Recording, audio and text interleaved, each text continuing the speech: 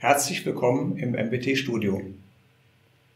Unser heutiges Thema Responsibility Management im Anlagenbau.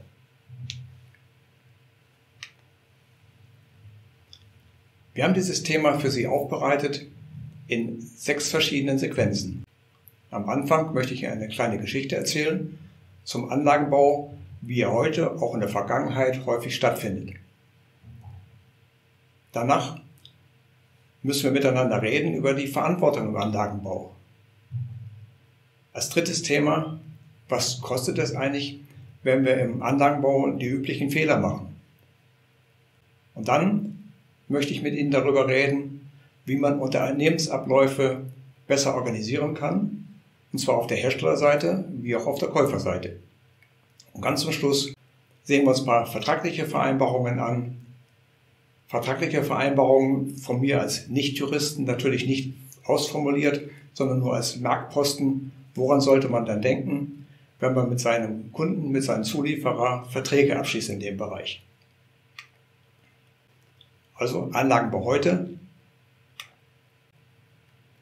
Und hierzu möchte ich Ihnen eine kleine Geschichte erzählen.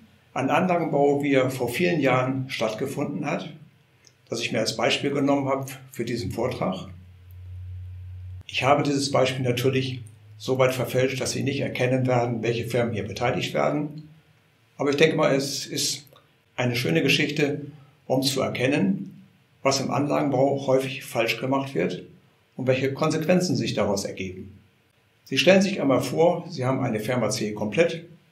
CE Komplett ist ein Hersteller von Produkten und er hat auf seinem Gelände eine große leere Halle. Diese große leere Halle kostet nur Geld, sie muss im Winter geheizt werden, es muss gewartet werden und CE komplett sagt, die Auftragslage ist eigentlich gut, wir brauchen noch eine neue Maschinenanlage. Soweit so gut. CE komplett hat vom Herstellen von Anlagen nicht so ganz viel Ahnung, also holen sie sich die Firma Ingenieurbüro CFIX und CFIX kriegt den Planungsauftrag für die Anlage.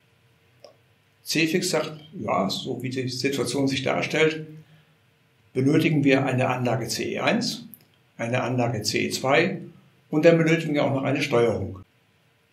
Die modulweise Aufteilung dieser Ausschreibung macht es eventuell einfacher, auch die verschiedenen Hersteller dafür zu bekommen und das dürfte eventuell auch preislich interessant sein. Als allererstes bekommt die Firma Kurzhack AG freihändig vergeben den Teil Steuerung.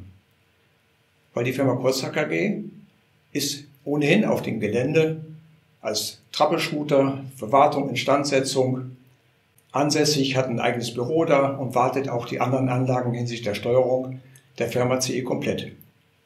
Preise werden festgelegt und die Firma Kurzhack AG bekommt von CE komplett den Auftrag. Als nächstes bekommt die Firma NotCE GmbH den Auftrag für die Anlage CE1. Allerdings mit der Verpflichtung, den Steuerungsauftrag der Kurzhack KG mit zu übernehmen. Und zwar für die bereits festgelegten Preise. Und da der Auftrag lukrativ ist, sagt die Firma NotCE GmbH, okay, das mache ich gerne mit. Bleibt noch der Auftrag CE2 und diesen Auftrag übernimmt die Firma Talma AG. Damit sind alle drei Auftragnehmer festgelegt.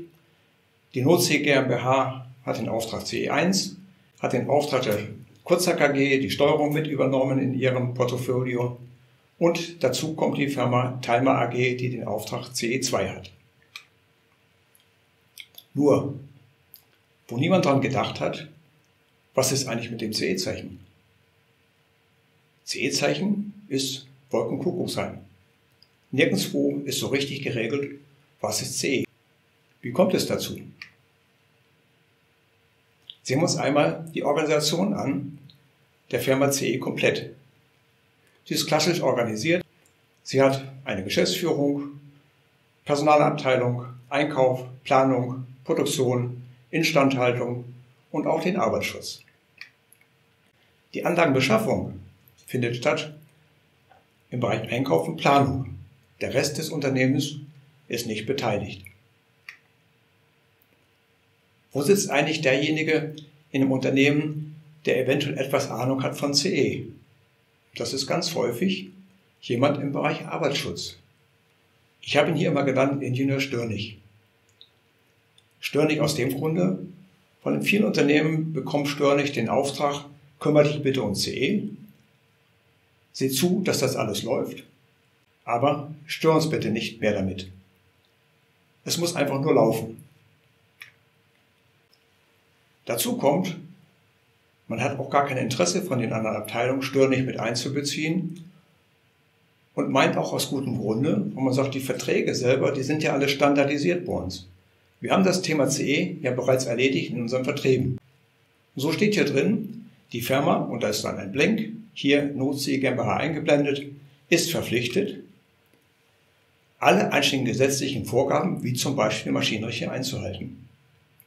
Damit denkt man, das ist doch alles erledigt. Damit haben wir auch das CE-Zeichen geregelt.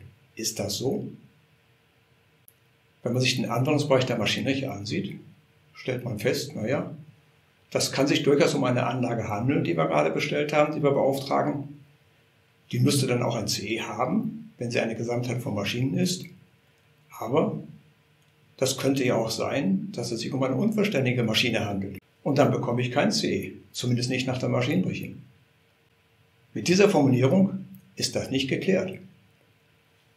Und in vielen Fällen, so wie auch hier, ist der Name der Firma Programm. No CE GmbH heißt, ja, wir machen alles, aber wir machen kein CE-Zeichen. No CE GmbH, wenn Sie den Vertrag unterschreiben, geht davon aus, dass Sie am Ende eine Einbauerklärung liefern und eine Montageanleitung. Mit CE hat No CE GmbH eigentlich nichts zu tun. Der nächste Punkt, alle relevanten nationalen und europäischen Normen einzuhalten. Das ist teilweise vielleicht gar nicht möglich, aber teilweise auch richtig schwierig. Wenn ich in den Steuerungsbau hineinsehe, 13849, 62061, diese parallel anzuwenden, dürfte sehr schwierig sein. Also bietet es sich jetzt an, hier ganz konkret die Normen einzufordern, die der Hersteller einhalten soll. Das Wörtchen alle wird hier nicht richtig greifen. Und was ich immer wieder auch nochmal finde, sind alle Unfallverhütungsvorschriften einzuhalten. Nur Unfallverhütungsvorschriften in dem Bereich, ja, das gab es früher mal. Vor Binnenmarkt eigentlich. Es gibt gar keine Unfallverhütungsvorschriften mehr, die ich an dieser Stelle einhalten könnte. Also insofern ist das auch eine Forderung, die man tunlichst weglassen sollte. Was mir wichtig ist an diesen Formulierungen ist, das CE-Zeichen ist mit dieser Vertragsformulierung überhaupt nicht geklärt. Ich weiß nicht, ob ich dann, wenn ich so bestelle, vom Zulieferer, vom Anlagenhersteller ein CE-Zeichen bekomme. Insofern sollten Sie das anders formulieren. Diese Formulierung sollten Sie aus Ihren Standardverträgen herausnehmen.